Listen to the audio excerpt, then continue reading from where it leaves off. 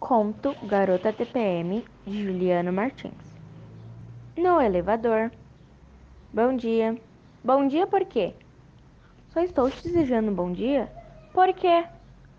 Horas, eu não posso te desejar bom dia? E eu não posso saber porque está falando isso para mim? Simplesmente porque eu desejo que tenha um bom dia. Por quê? O que eu te fiz? Como assim? Eu te dei algum presente? Você está me devendo dinheiro? As pessoas costumam dar bom dia para outras, querida. Ah, é? Eu não faço isso. Pelo menos não com estranhos. Mas eu não sou estranha. Como não? A gente nem se conhece. Pensei que trabalhássemos no mesmo prédio, a gente se vê quase todo dia. Isso não nos torna amigas. E só amigos dão bom dia? No mínimo. Eu vou dar bom dia para quem não conheço? Vai que é um psicopata, um assassino. Eu vou lá querer que ele tenha um bom dia? Eu quero mais é que se exploda. Puxa, valeu. Quer que eu me exploda também? Se continuar me incomodando assim, quem vai explodir sou eu.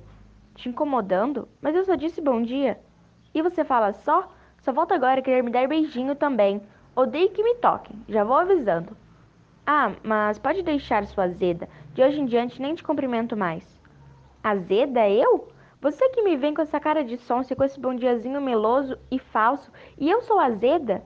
Falso? E digo mais, por não me cumprimentar, você vai me fazer um grande favor. Até porque já tô por aqui com essa sua vozinha de taquara rachada.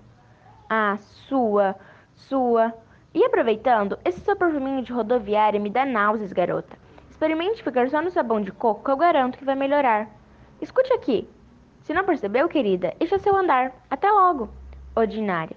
A garota sai do elevador batendo os pés, furiosa, e um elegante rapaz entra.